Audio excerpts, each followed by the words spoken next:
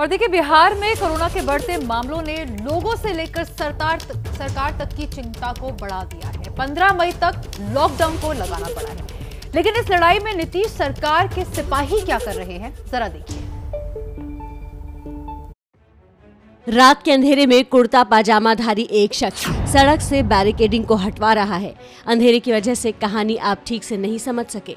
लेकिन ऐसा करने वाले साहब के चमकदार टैलेंट की कहानी सुनेंगे तो आपकी आँखें चौंधी आ जाएँगी। पहले बैरिकेडिंग हटवाने की वजह सुन लीजिए, उसके बाद आपको इनका परिचय देते हैं। किसको बोलने के लिए जाएँगे? हम जब फंस गए, हमको पैखाना लगा हुआ था। हम कैसे वहाँ से निकलते? दोनों चीज़ था, पैखाना भी लगा हुआ था, भूख भी लगा हुआ ये बिहार के भागलपुर से नीतीश की पार्टी के विधायक गोपाल मंडल हैं। खुद से बैरिकेडिंग हटवाने के नीतीश के इस नगीने की बात सुन चुके हैं तो थोड़ा इनकी ओजवाणी भी सुन लीजिए। हम तो आगे हम तो सेना कहा जाए या राजा कहा जाए हम लड़ाकू आदमी है ना इसलिए अपने से काम करते हैं हम स्पॉट पर। किसी कार्यकर्ता को कुछ होगा तो सीधे बंदूक राइफल लेके उतरेंगे देना होगा दे ही देंगे।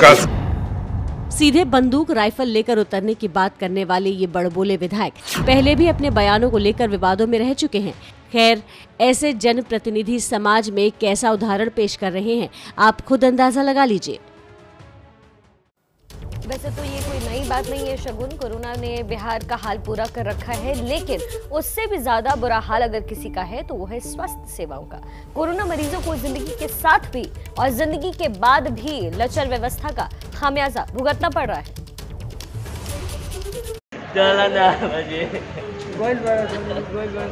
माँ के शव के पास बिलखते इस बेटे पर क्या बीत रही है इसको शब्दों में बयां नहीं किया जा सकता। यही नीतीश के सुशासन का चमकता चेहरा है जहाँ कोरोना मरीज़ को मौत के बाद एंबुलेंस के नाम पर ये रिक्शा नसीब हुआ है।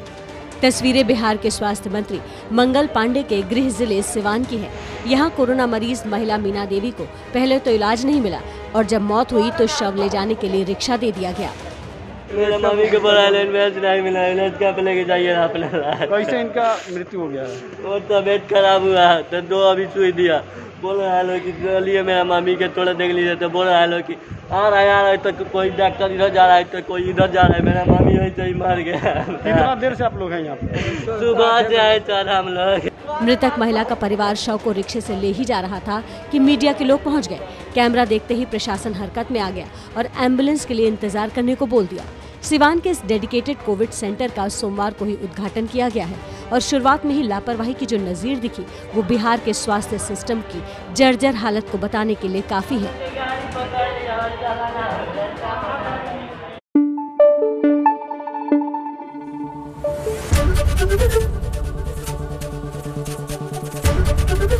ABP news. आपको रखे आगे।